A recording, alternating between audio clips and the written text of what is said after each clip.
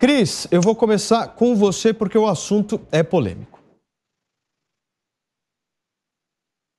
Seu microfone, Cris, por favor. Só... Desculpe, boa tarde para você, Paulo, colegas de bancada, nossa audiência. É polêmico, principalmente porque a imprensa tenta polemizar, dando ares de algo errado feito pelo ministro André Mendonça. Olha, o ministro pediu vistas de 20 processos e interrompeu o julgamento.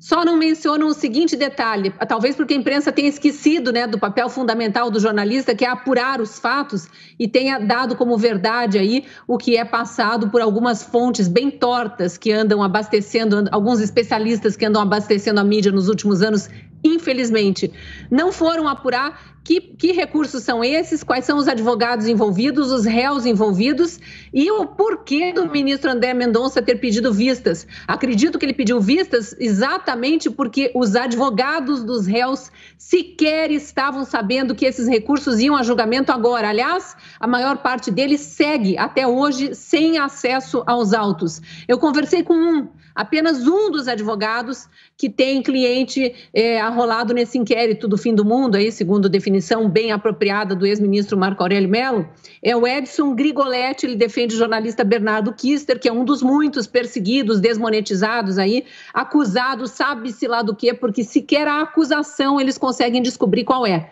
E o que, que esse advogado me disse? Olha, nós ficamos sabendo ontem que abriria à meia-noite o plenário virtual. O plenário virtual, vamos lembrar, não dá acesso aos advogados para acompanharem, muito menos aos réus, né? É um julgamento onde só os juízes julgam. Tá certo que eles estão julgando recursos, mas às vezes cabe alguma explicação por parte do advogado acerca daquele recurso impetrado. Mas esses advogados estão apresentando recurso no escuro porque eles sequer sabem do que seus clientes são acusados. Olha a distopia que a gente está vivendo, a ruptura do Estado democrático de direito por parte da corrosão interna do judiciário. Ao contrário do que aqueles defensores daquela democracia fajuta, aquele povo que faz é, comício ali na USP sem uma única bandeira do Brasil, dizendo-se muito preocupado com o Brasil, né? Ao contrário do que eles dizem, nós já vivemos uma tirania e é uma tirania da toga quando se impede o advogado e o réu de ter acesso à, sua defesa, à, acusação para poder preparar a sua defesa, já não temos mais Estado de Direito.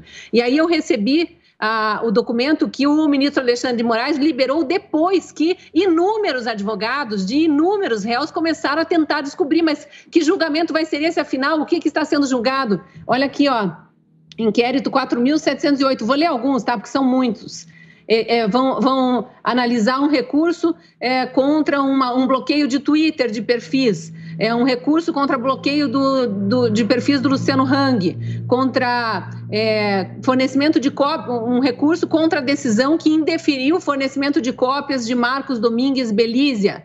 Outro aqui sobre cópias, fornecimento de cópias para Luciano Hang. Bia Kisses, recurso apresentado pela defesa dela contra a decisão que indeferiu o pedido de levantamento de sigilo de votos. E assim vai, tem muitos aqui, Daniel Silveira, Mário Sabino Filho, Sim. tem pessoas aqui que eu sequer tinha ouvido falar, Oscar Facuri. Então, essas pessoas só ficaram sabendo de ontem para hoje que o julgamento de recursos delas, assim, recursos meio aleatórios, porque muita coisa eles não sabem do que estão sendo acusados, iam ser julgados no plenário virtual. Quando começou esse rebuliço, no dia do advogado, olha só, no dia do direito, entre os advogados que defendem esses réus, esses acusados aí, aí imagino que tenha chegado aos ouvidos é, dos outros ministros e graças a Deus temos um, ao menos um lá, André Mendonça, que pediu vistas e vai dar mais tempo aí agora para as defesas poderem preparar melhor o, o dia, do, se preparar melhor para o dia do julgamento.